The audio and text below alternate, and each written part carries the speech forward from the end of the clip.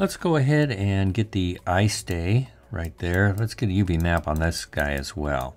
So first thing I'll do is I'll hit Shift H to hide everything except that. I'll bring up my UV viewport here.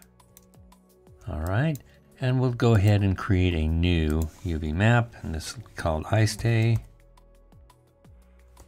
There we go.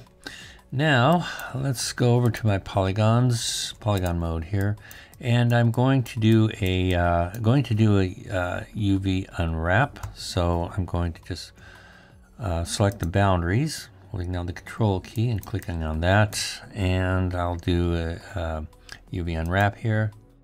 Clicking the viewport once, twice, thrice. Okay, let's bring up our uh, properties and see what we've got here.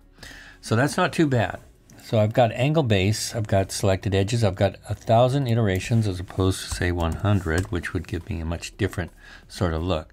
So as I kind of click and kind of climb up on this, we can see that our map will change, probably around.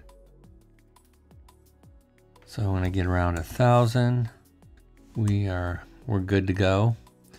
And uh, we're using an initial projection as a planar and we're using a U as a uh, pinning axis as opposed to the V. And uh, yeah, so we've got a pretty good start right here. I'm going to go ahead and turn on my uh, UV textures and grab a UV map here. Let's just use this one. That's not too terrible. Um, we notice that we've got some pinching here going on.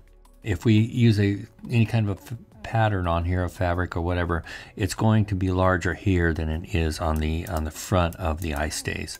So we want to balance that out a little bit.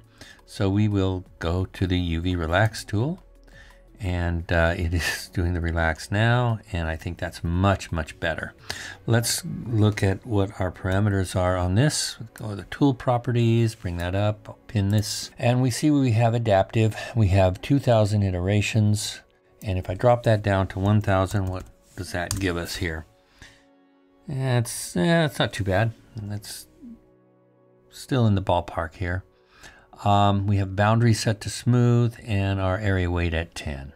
So I think these settings are pretty good for, for this uh, particular object. And uh, I'm going to go ahead, close that, and I'll do a fit, and we're good. All right.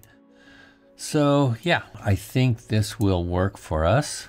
I'll turn this off for now and unhide all my parts. Now the rest of the shoe, the uh, UV map for the inside parts of the shoe and this uh, padding as well as the tongue and the strings, we'll do those later as we go along, as we start texturing. So uh, for now, this will work for what we've got and uh, we'll go ahead and start uh, adding textures to uh, these panels.